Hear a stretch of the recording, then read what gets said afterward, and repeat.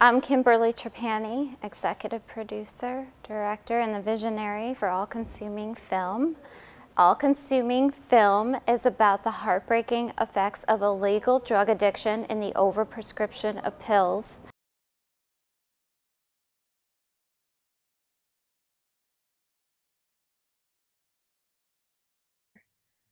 I have to motivate this person to stay off drugs. They're implementing programs in New York State for heroin addicts to have a safe haven. I don't know if that's a good thing or bad thing, but they're trying to raise awareness in New York State to heroin addicts that you know they're trying to give them a safe haven to, you know, I want I don't like to say it, but to do the drug. No, no, say it. You know, That shit in but Vancouver, it's retarded. you know, yeah, I mean, I don't get it. Building Yeah. Spike up. Right. Let, retarded, let, right? let's monitor you. Chuck Artizone and I are ready. Are you ready? Why blame the victim? That states you can't prescribe it. If a patient can't speak for themselves, if they're incompetent, they shouldn't be given controlled addictive substances in the first place. You're allowing it to happen, and you're not you're not fixing the problem. You're contributing to the problem by giving them a safe haven. So. Right. It, it makes no sense. It's like you want to go bomb a third world country for $30 billion. How about you give me $30 billion? You leave that country alone and don't spend any more money, and I'll, I guarantee you I can help millions of people, millions of addicts. It's that simple. This bridge connects my loved ones, life and death.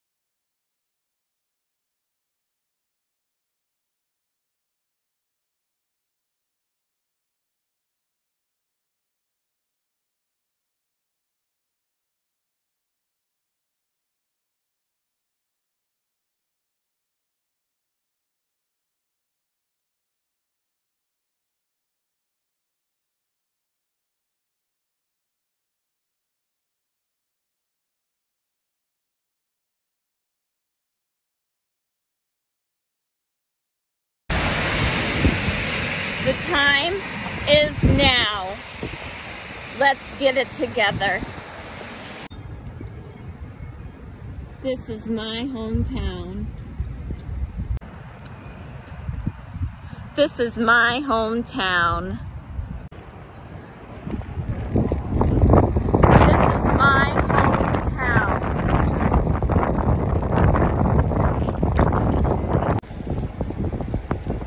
This is my hometown.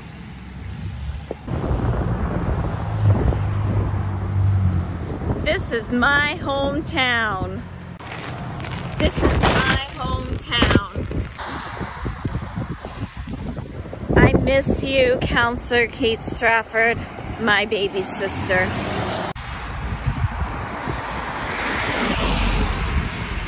This bridge connects Kate Strafford's life and death.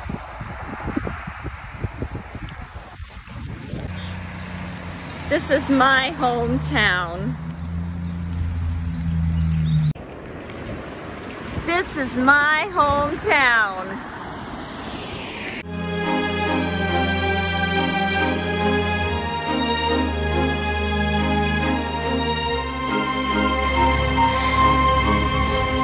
I have explained to you many times through confronting the overdose crisis in New York State, I'm getting a little bit tired about talking about how it is we're gonna live and every day I have to tell the world about how my attorney New York State sister who was a beautiful girl and how it was very, very important to her to defend doctors and medical malpractice lawsuits in New York. I'm getting a little tired of hearing myself talk, so I am writing for Fox and doing public relations for an amazing organization that gives back to the community called Second Chance. I think it's very, very important as I put heat on your legislators and the governor and the president of the United States about how it is I'm gonna be motivated and continue to be motivated to encourage you to live. I think it's important to explain that I work really, really hard at trying to encourage life and recovery. It doesn't matter that I have a master's degree. It doesn't matter that I went to SUNY Albany in my undergrad. It doesn't matter that I have 20 years of experience and I used to work with CFOs and accountants and pitch on Obamacare back in the day and I'm not going to get into a political discussion on the bridge that connects my sister Katie Strafford, comma, ESQ period, life between her living and dying. However, what I want to get into today is the executive announcement that I've made in, dis- in conjunction with my amazing business partner. My amazing business partner was there when I was getting a master's degree at a college called Full Sail University during my sister's funeral. So, yeah, we had a lot of time to bond, Chuck and I, during filming a movie called Heroin and my sister's funeral. So, as I sit on the bridge and stand and run around in the rain during this time, I am hoping and praying you will join me and my vision to bring a film production company to Albany, New York. Chuck and I have decided to relocate our headquarters to create film jobs, meaning movies, production, editing, casting, and hiring key people to New York. I hope you're excited about this. I hope you welcome my friends. I hope you welcome my amazing actors back to their hometown. Eric Yetto, Jessica Torres, just to name a few, and help us make film productions in New York. I am here in Waterford telling you that we are working really hard around the clock to create film production jobs.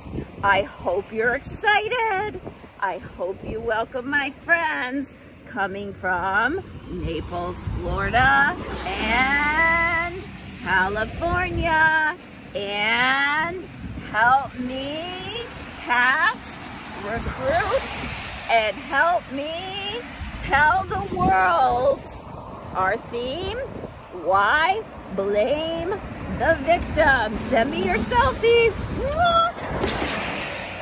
I got Keith Brown. I'm super blessed. We're so excited. And I got my updated Narcan kit.